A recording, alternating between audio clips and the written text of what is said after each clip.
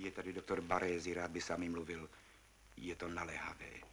Jde o jeho běžný účet. Čeká venku. Chcete ho přijmout? Jistě. Ať jde dál. Ano. Račte dál. Velice mě těší, že vás vidím, doktore Barézi. Prosím, posaďte se. Váš běžný účet je přece v pořádku. Něco snad nesouhlasí? Je tam o 100 milionů lir víc. Ale to je správné. Ten vklad uložil na váš účet jakýsi eh, Francesco di Clemente. Asi před týdnem.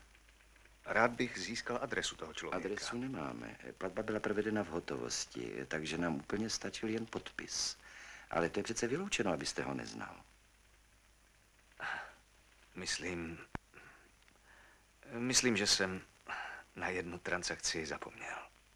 Takže je všechno v pořádku. Zdá se, že ano. Máte nějaké zvláštní přání? Dal bych vám vědět.